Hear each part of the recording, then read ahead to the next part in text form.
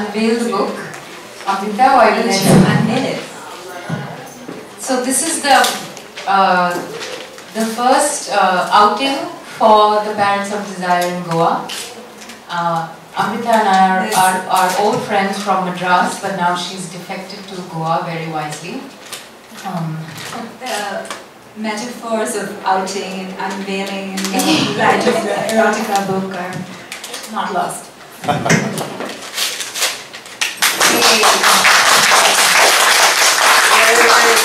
Thank you. So I'm going to jump right in, but I just want to say one thing that um, while I was reading your book, I was thinking of this word that um, that another writer and friend of ours, Jeet Thayil, taught me, and the word is stichomancy. And uh, it's basically the idea of divination that whatever you are looking for, you will find it when you need it. And books are great for that, I think, because sometimes you, especially with a book that's kind of non-linear and circular, and that you can go into wherever you want.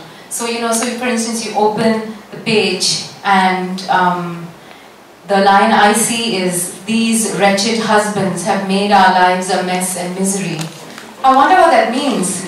Um, so, um, so this book is, is, is very much um, like that because it's a kind of companion book. And so I wanted to first ask you, why do you dedicate your book to the modern reader? Why do you have this direct address to the modern reader?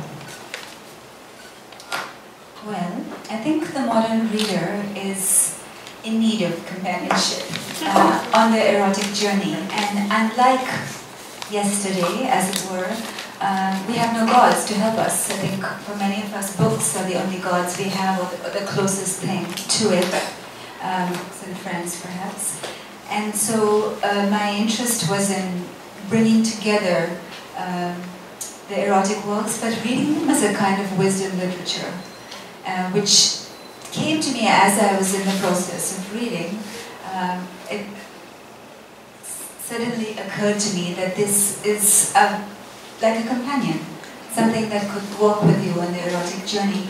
But if we looked at it in its original form, it doesn't really work. If um, we have to uh, organize it in a way that the modern reader could appreciate and get something out of it. So that was my, my idea, was to make them accessible and easy to find, something that you're hungering for in the right moment. Yeah, and it does that beautifully.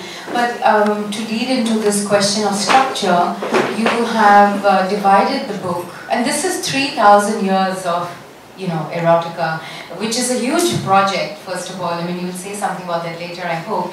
But I was very intrigued with the very contemporary taglines you had structured the book under nostalgia, the first time, abandonment, anger, breakups, um, men who wish to be women. Really, uh, I think things that speak to us very directly. Um, so where did you get the idea to, to have, again, this sort of very contemporary focus, but using both ancient and modern texts and putting them together in the way that you have? I think it really emerged in the process of reading. Um, I started to see that over time there were certain themes uh, that people kept writing about and that seemed to be very important to anyone writing on the erotic. And so I had these piles of books and papers all over my study and I started collecting them together in ways I started chronologically. So the way you go about a project like this is to start chronologically and research the major erotic works. So I started chronologically, but then I, as I noticed that people separated by hundreds of years are writing about the same themes, I started separating it thematically instead. And can you talk about some of the surprises or some of the, the pairings perhaps between the ancient and modern that you were most pleased with? Yes, the, that's right up to my heart. Because when I was finished, I thought it's really special to have these pieces that are separated by so long a time in conversation with each other. So you can read Perumal Murugan and his exploration of jealousy and suspicion. And you can read it alongside another short poem from the Amaru Shataka, where they also explore feelings about jealousy and suspicion. And there's something about um, being able to dive in in that way to particular uh, moods, or rasas, if you will, that really spoke to me. So maybe I could read a Yeah, little please. bit. Also, can we have AC on? It's like I've been, boiling. I've been telling it's them hot on here. I know the theme is erotica, but Not the sweaty kind, I hope.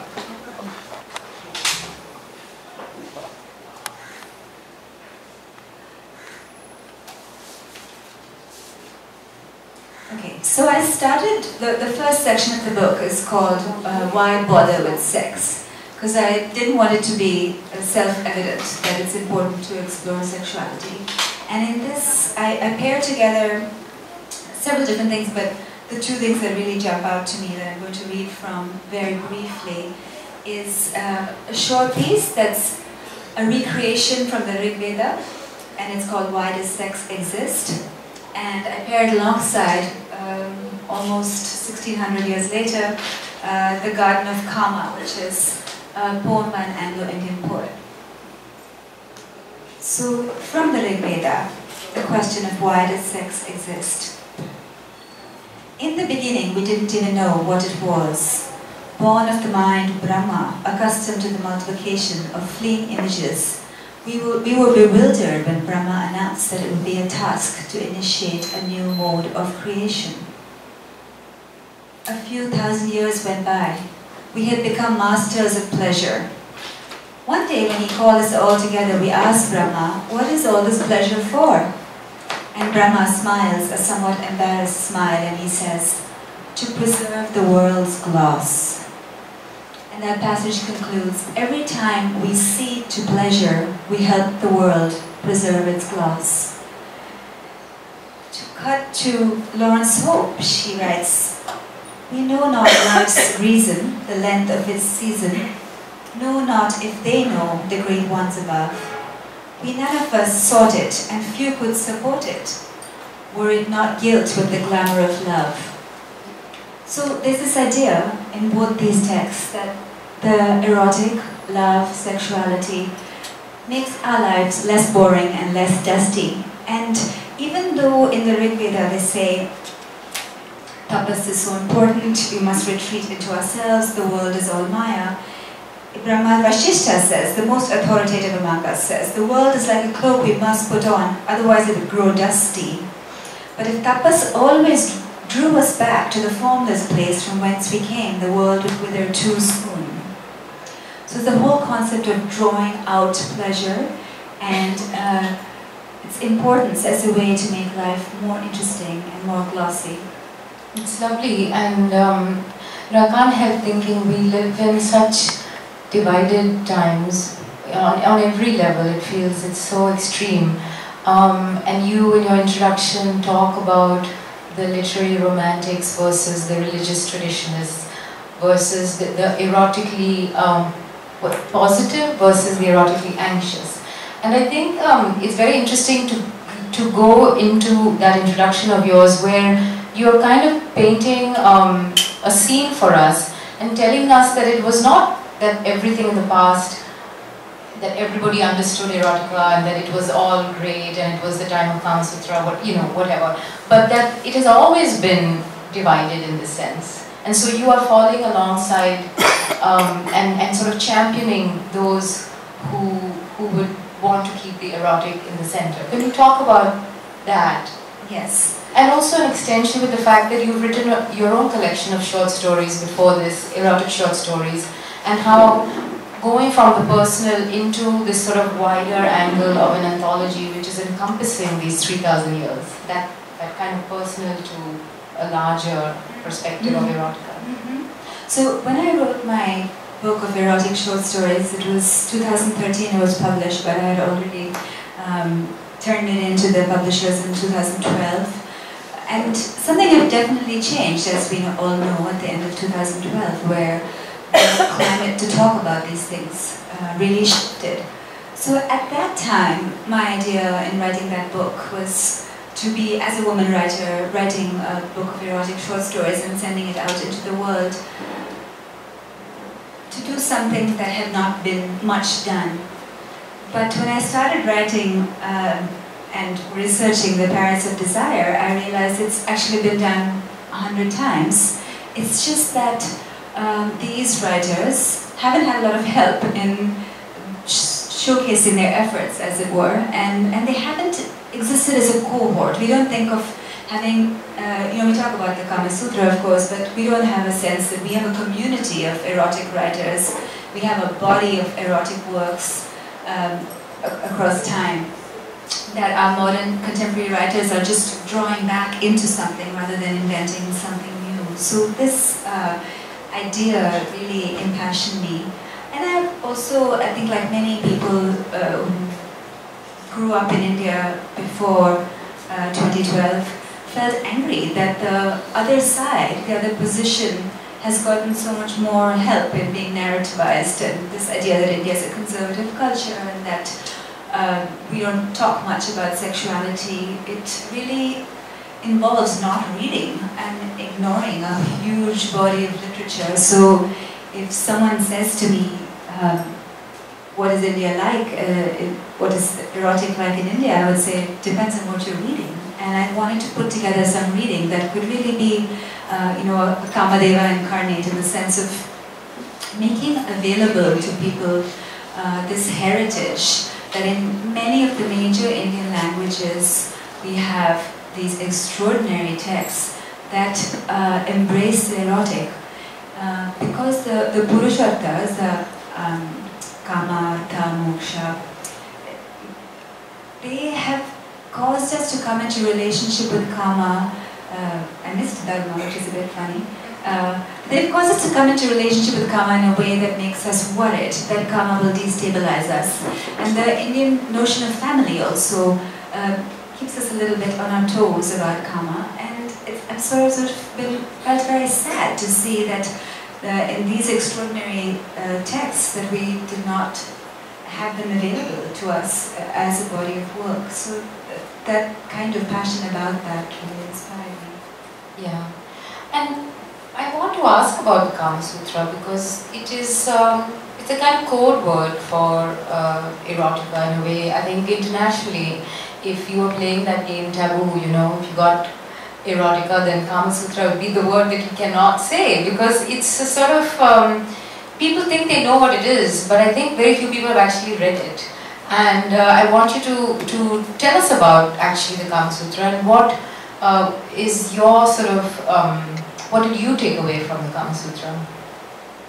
Yeah, aside, aside from the fact that all the positions, which is what you know, the, the labels yeah. and things of. Yeah, um, I think the Kama Sutra is a really good instruction manual at various levels uh, in how to live. And it's also not a very interesting read, and certainly not a very erotic read. There's, there's nothing really delicious about it. It's useful. If you have a problem, your Kama Sutra will solve it. Any idea you have in the erotic realm that you're not very sure about how to resolve, how to, how to prepare your room before lovemaking, what to serve afterwards, what kinds of trees are conducive to the art of love. These are things that the Kama is very helpful to, to tell us about. But if you want to feel uh, or have some companionship in your feelings, I don't think the Kama is as helpful uh, I was going to say that what I do like about it uh, is that it, the variety it encompasses in, in the, uh, the types of things it talks about that it relates to the erotic. It leaves almost no area uneroticized. It has a wide angle lens in which it looks at the erotic. And what I find most beautiful and what I really love about the Kama Sutra is the way it brings in nature into uh, our erotic uh, aspirations as well as our um, the, the backdrop to our erotic life. But do you have a sense of why the Kama Sutra, from all of the many texts that we have in India particularly, which might be considered far more um, erotic or uh, definitely sort of bhakti poetry, for instance. You know, something that is very, very sensual in nature. Why this has taken predominance? Is there a sense of why that happened? Do you know? I don't know, but I think that um, certainly, as you said earlier, the whole idea of sexual positions is uh, something that flashes up sex really loudly. Um, I also think the fact that the Kama Sutra is so useful and is such an instruction manual and breaks things down so concretely um, is another reason why it's popular. But my guess will also be that if you look at the other major bodies of erotic works, the ones I liked best are the Amarusataka, which is in Kashmiri Sanskrit, the Tamil Sangam poems, and the Katha Saptasai, which is in Maharashtrian Prakrit. If you look at these erotic works, they uh, seem to go into the psyche and unravel uh, the darkness and despair also of uh, the erotic life saying at the same time that it's worthwhile to engage in it. And the Kama Sutra does not have any poetry to it in that sense. Uh, so I think poetry is harder, as you know, and uh, people don't take to poetry as much. So I think the Kama Sutra is uh, an easier read. Easier to, yeah. And you brought up nature, which I think um, is beautiful, I mean, you mentioned it again in your essay, which is so wonderful and you, you, you say that medieval lesson, stay close to, stay erotic, stay close to nature. Um, and I think anybody who has even a sort of brief knowledge of uh, poetry and, and literature and painting and music in this country will know that nature is very much the companion of uh, sexuality in a sense. Uh, and you also mentioned that we are now somewhat struggling with our relationship to nature in these times because we are very urbanized, we are living away, um, uh, and, and we have a sort of, there's been a distancing of body from land.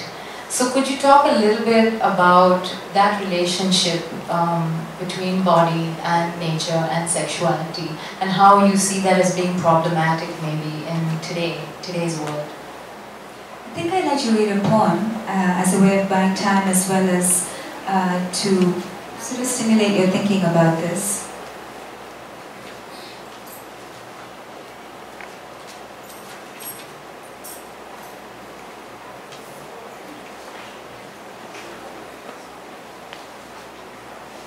So this poem is called Then and Now and it's written in Sanskrit around the 9th century by Silabhattarika.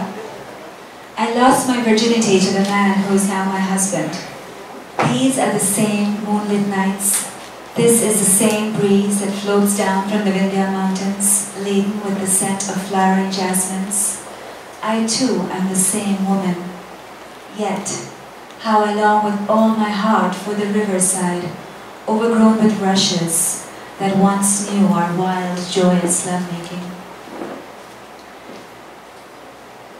And, and what I what I got from this, I mean, of course, reading it today, she's just reflecting back on her time with with the river and her husband.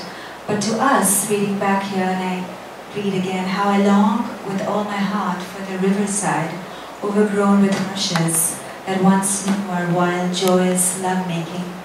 My association to that is our early experiences of desire uh, and childhood uh, pleasure in the world around us, I think, uh, which we feel in our bodies, is so linked with nature. And there's a deep sadness now in knowing that we are so distanced from that. And uh, living lives in which our bodies and nature are sort of in two separate compartments, as it were. I think the absence of nature in our lives for those of us who, who have, um, not usually, but uh, for those of us who have an absence of nature in our lives, leads to a, a sort of insularity of our desire. Uh, we sort of seeking within ourselves and not drawn out as much in the same way. And I also think we get a bit disconnected with our bodies, which is, I guess, something that we're speaking about a lot these days. But um, being away from nature, the disconnection from our bodies, uh, I think is leading to a particular kind of uh, eros, one that is um, helps us avoid seeing uh, what we have done, that helps us avoid uh, that longing for the riverside because in so many places those riversides don't exist anymore. So I think it's become an imperative of sorts to get away from nature uh, when it's so ripped apart and ravaged, as it were. And the big cities, I think we answer that call by shoving ourselves more and more into rarefied atmospheres and five-star hotels. But something is lost in the process, and I'm not sure I could put words to it as much as the poet did, but I, I do feel that some, in some way we lose. Yeah. This whole, um, these binaries, these compartments, I think I was thinking about that as well when I was reading the book, because again there's this um, wonderful area of uh, the erotic, which is um, Tantra and Bhakti poetry, which is bringing together uh, sexuality and spirituality. You identify this as an Indian, as particularly Indian theme. Um, and I was wondering if we could talk a little bit about that because I think it's quite unique. I think nowadays when we look at the, the world of spirituality, it's, uh, it's on the opposite uh, spectrum, say, from the word world of, say, sexuality. And yet um, there are, and hopefully you can read some, this sort of beautiful celebration of that togetherness within the body. Yes. Yes, there, with the, the Bhakti writers especially, I think um, many of them are celibate, um, many of them uh, are so clear that they are relationships with other bodies. But their body is very much involved, and if you read these works, the the body of the poet, the aroused body of the poet, uh, in a transcendent sexual experience with a physically absent, uh, spiritually connected figure, really, really stands out. Um, I'll read a poem or two. Having sexual relationships with other bodies, but their body is very much involved. And if you read these works, the, the body of the poet, the aroused body of the poet, uh, in a transcendent sexual experience with a physically absent, uh, spiritually connected figure, really, really stands out. Um, I'll read a poem or two.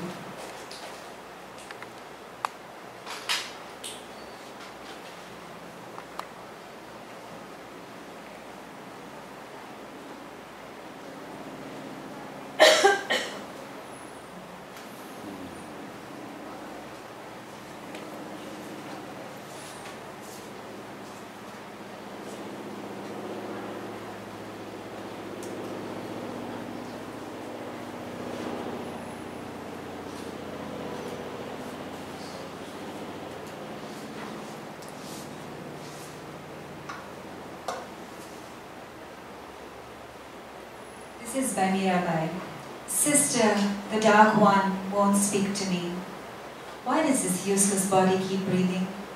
Another night has gone and no one's lifted my gown. He won't speak to me. Years pass, not a gesture. They told me he'd come when the rain clouds, but lightning pierces the clouds. I feel the old dread. Mira's whole life is a long night of craving.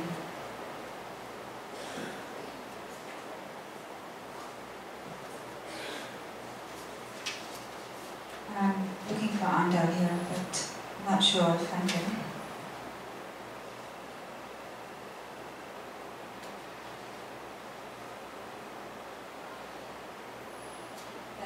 I'll, I'll stop with that for, for the moment. But, um, but what I wanted to go with that go with that is that you know Mira in that case is not uh, actually having sex, but yet her longings take the form uh, of eros, and they take the form of a physical eros, in which she longs for the Lord. She says to, gown.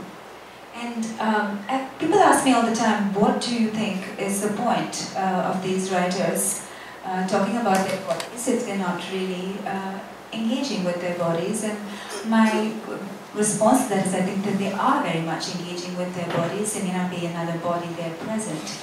But as far as what we can get out of it, I think it, um, there's a sort of transcendence, as it were, the possibility of going beyond yourself that the Bhakti poets touch into, um, that is discoverable in sexual experience. And the reason why I think it's wonderful to include them and read them as if they were having sexual experiences, because I, I guess I think that they are. They just don't involve a second body with them.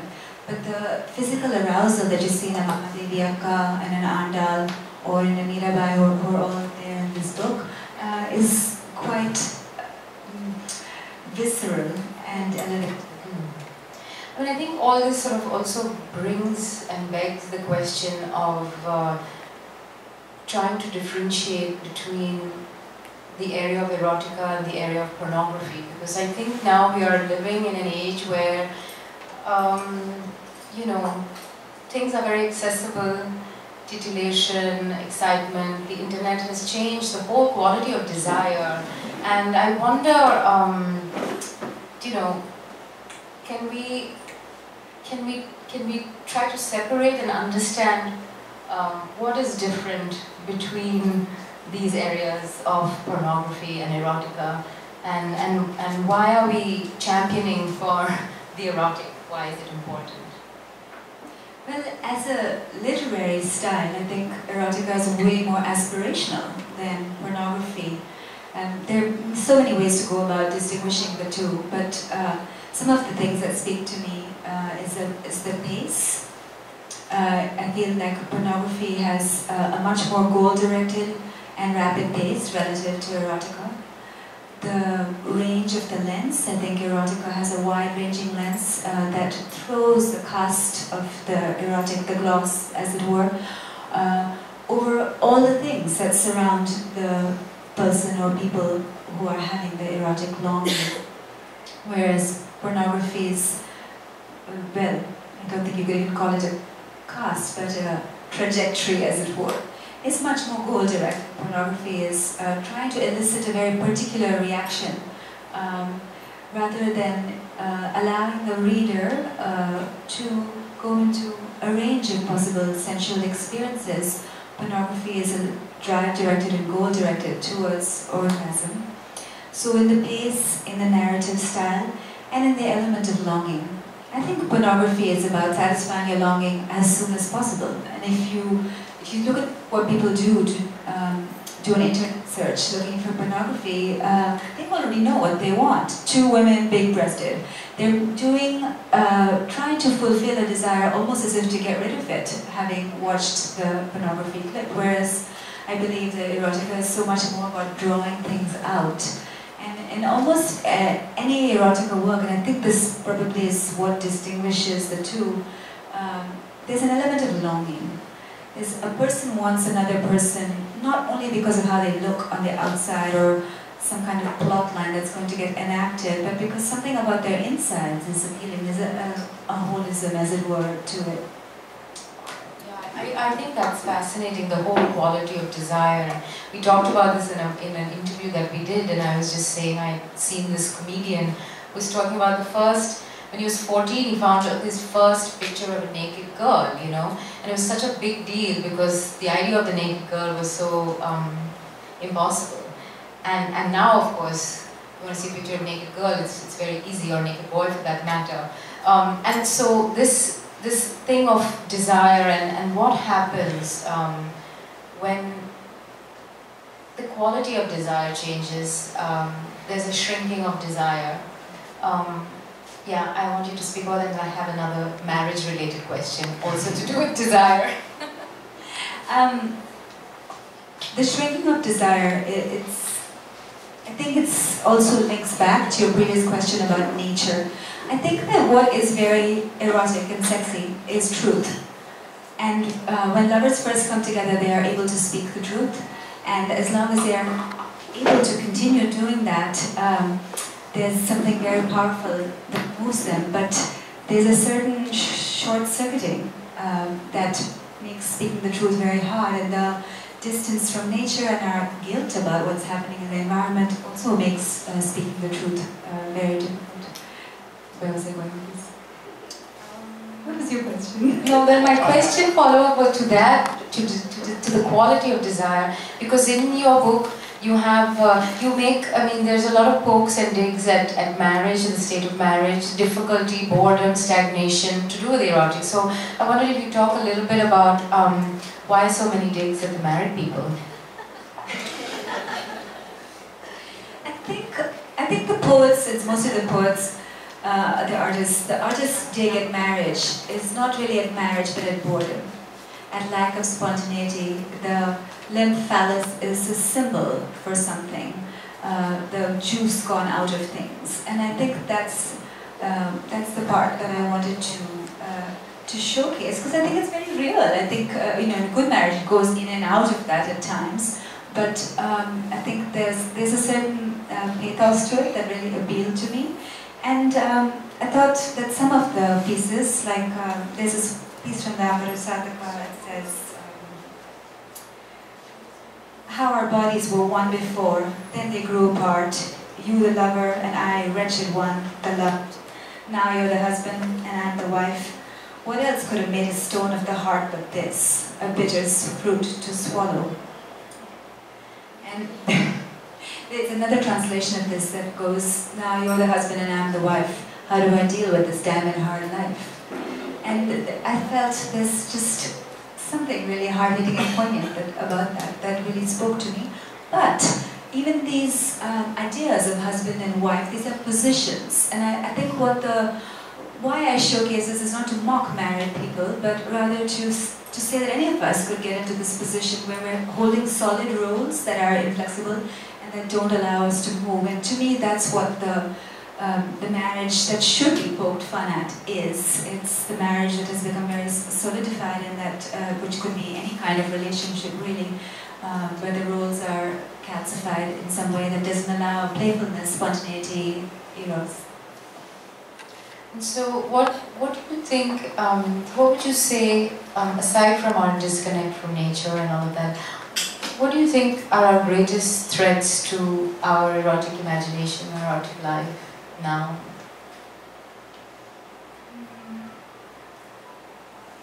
The two boredom. Things. The threat to boredom. Boredom is a threat to erotic life. Yes. well, yes and no, right? Because I think you have to actually get into the boredom and realize that you're really bored to start thinking about what to do next. And these days we don't allow ourselves to get bored at all because the internet has spared us this horrible position of being bored. We never have to ever be bored.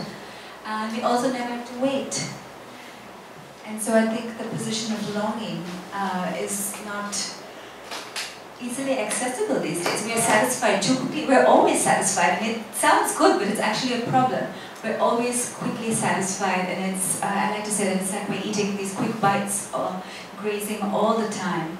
And so I think that uh, our erotic satisfaction uh, gets a bit blunted by it. It's not necessary for us to be consuming uh, erotic quick bites, but just the constant consumption of things leaves us in this state of um, uncertain satiety, I would say, that when we're never really uh, left wanting, and I think it's wanting that uh, leads us to a very truthful erotic journey. That's very well said. I'm going to open it up soon. I just have one last question uh, before we take some questions from the audience. Um, there was a very interesting line in the introduction about how uh, in India there is this thing that is the opposite of Freud, what Freud called penis envy. Mm-hmm. And uh, I was quite fast. I mean, I've always been interested. I think in India we have always sort of never been stuck in binaries. Sort of we have great fluidity uh, in terms of gender, and we have myths and stories to to remind us also of this possibility. But um, could you talk a little bit about what uh, where that came from and how that also feeds into the subject, I suppose? Yeah. Uh, it's a nice link back to the first sentence that you read, but perhaps it was intentional knowing you. so, uh, what Tishani is referring to, which I talk about in the book, uh, a correspondence that went on between Freud and Girinder Sekhar Bose, who was the first Indian psychoanalyst. So Bose reads Freud's works, he's very impressed, he starts practicing, he's already a psychiatrist, he starts practicing, seeing um, patients for psychoanalysis, and he writes Freud's letter saying, to paraphrase. that this whole thing about penis envy, I don't really think you've got the right idea. I think penis envy is just a reaction. Um, but what is underneath that is boys longing to be girls and men's envy of women. And Freud, of course, is appalled and said, please read everything over again one more time, because I'm sure you'll understand that. Um, that primary femininity does not exist. Um, Bose uh, wrote back very politely, you know, it was colonial times, and he said, okay, maybe it's only Indian men who have this wish to be a woman, but I can tell you that my experience with Indian patients and Caucasian parent patients leads me to think that the Indian man uh, longs to have the experience of being a woman. And this is um, actually much further corroborated in clinical studies and so forth. And the idea that is quite accepted in Indian psychoanalysis is that particularly as the life cycle goes on, Indian men uh, find more and more their wish, realizing their wish to be women. And it gets manifested, for example, as a maternal feminine attitude in men.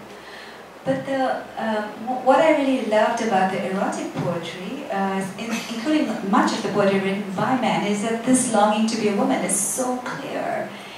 And so in the piece that uh, Tishani started reading, These Wretched Husbands Have Made Our Lives a Mess and a Misery, it's written by a poet, Jurat, uh, around the 18th century, male poet, and he says, how delightful it is when two vulvas meet.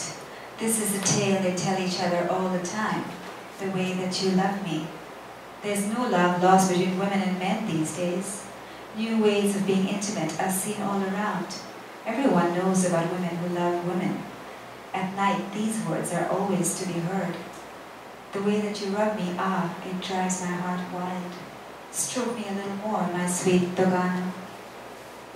I'd sacrifice all the men for your sake, he says. And so you wonder what this poet, who, whose sexuality is not known to us, gets out of imagining uh, women together and imagining the ruin of marriages and uh, uh, women sort of arriving together out of the, the bounds of heterosexual marriage. And there's another piece in here that Arshia Sattar was kind enough to translate for me. Um, it's called Who Has a Better Experience, Man or Woman? And it's a conversation between Yudhishthira and Bhishma. You know, that's what you do, I guess, after the, the war is over for the day. You sit around and you talk about sex. And uh, Yudhishthira asks Bhishma, well, spit it out. This is something I've been wondering for a long time. Who has the better sex?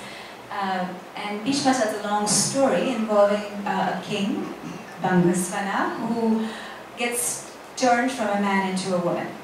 And uh, to cut a long story short, at the end of the story, he has a chance to be turned back. Um, no, sorry, he has a chance uh, for his children, who, whom he had as a woman, or his children whom he had as a man, to be uh, brought to life. And he says, I choose the children I had as a woman. And so the god asked Indra asked him why, and he said, you know, the feeling you have as a mother and that tenderness, it's far superior to what you can have as a man. And then Indra says, well, what about you? Would you like to be turned back into a man? And he says, no, because the sexual experience that I've had as a woman far exceeds anything I've had as a man. So it is written.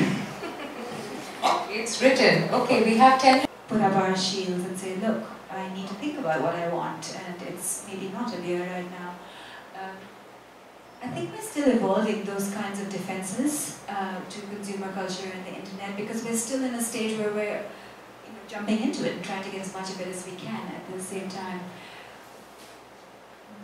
I want to add that uh, that along with that, uh, the, the, whole psychiatry movement and the, the, the medication movement uh, together with this, I think we're narrowing our bandwidth in a way uh, of, of what we can stand. Because I think it's helpful to think about pleasure also as something that we uh, have a tolerance for. And if, if we can, you're used to having just certain kinds of pleasures and going into an unknown one, I don't have to look it up. Um, it's, it's in the section on, on suspicion and jealousy and um, this is how it goes. When we make love in the traditional position, he finds it so boring. But try something new and he demands to know where I learned it. That's great. So the bad news is that Amrita's books are not at the books, bookstall, which is really, really sad. However, the internet is good for some things, so you may buy it on on on uh, the internet and um, please read it. It's a beautiful, beautiful book.